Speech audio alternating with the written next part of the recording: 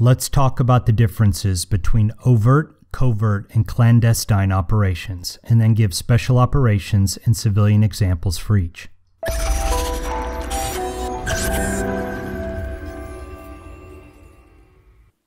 You guys know how I love to oversimplify with the matrix, so check this out. On the left, we have the three types of missions. In the middle column, we have the effects, and in the right column, we have those responsible for the effects. Overt operations are conducted openly, without concealment. With an overt operation, the effects and the sponsor are known. Covert operations are planned and executed so as to conceal the identity or to permit plausible denial by the sponsor.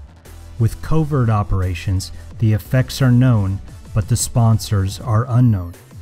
Clandestine operations are sponsored or conducted in such a way as to assure secrecy or concealment. With clandestine operations, both the effects and the sponsors are unknown. A simple example of an overt operation would be a daylight mission to go capture or arrest a bad guy. As soon as the mission is complete, there's a news release that says that local police forces, along with their SOF partners, captured the known bad guy and that he is now in custody. The effects are that the bad guy is captured. The sponsor is clearly the US government working alongside their partnered nation. Let's move on to a covert example.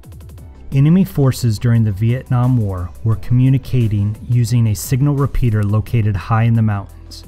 One night, a Special Forces guy sneaks in with a very strong battery pack and he plugs it into the radio signal repeater and he fries all of the circuits. They catch on fire and they partially burn. It no longer functions and needs to be replaced. This is going to take several weeks or a month to replace. The Special Forces guy leaves no trace. The enemy inspects the signal repeater and identifies that there is a melted circuit and a small fire. There were no signs of tampering, so they conclude that it was a lightning strike. The effects are known.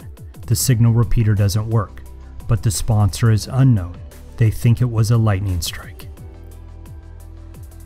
A clandestine example would be if US SOCOM got into the movie industry. Imagine that they get two or three psychological operations officers and they give them a lot of money. They hire a scriptwriter who, under their guidance, types up a heartwarming and patriotic screenplay. They give it to an agent that they have in Hollywood who shops it around. Within a few months, a big movie studio buys the rights to this screenplay at a surprisingly low cost, and they spend the next six months making the movie. It's a huge success. The movie company makes millions. The effects are never really known or deliberately identified. The sponsor is never known. It was like it never happened. But somehow, Army recruiting goes way up, as does sympathy for the current low intensity conflict in Africa. Civilian examples are everywhere. Let's talk about giving to charity. As the year is coming to an end, suppose you need to write off some of your company's profits so as to minimize taxes. So you donate money to the Green Beret Foundation. The effects are that Special Forces family members are helped, and the sponsor or the donor is known. But imagine that you don't want to be recognized as the donor for giving to a charity.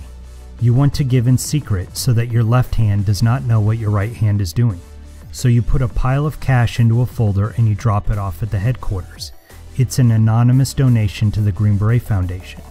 The effects are the same. People within the SF community are helped, but the sponsor is unknown. If you want to do a clandestine operation to support your favorite charity, then you would have to make sure that the effects are unknown.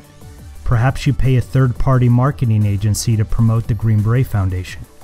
Perhaps you persuade key influencers on YouTube to write stories about the successes of the Green Beret Foundation. Perhaps you use the Green Beret Foundation as an example in a video. You hyperlink it in the description, and thousands of people click on the link to learn more about or to support the foundation. Next year, the Green Beret Foundation has twice the budget. No one really knows why.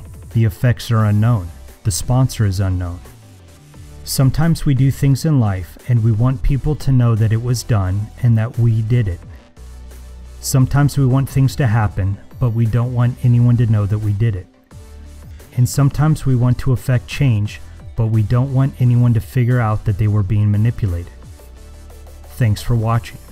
I hope you are now more capable of influencing your friends, family, colleagues, and competitors to support your overall goals. Don't forget to subscribe if you want to learn more and to forward to a friend who needs to see this. Life is a special operation. Are you ready for it?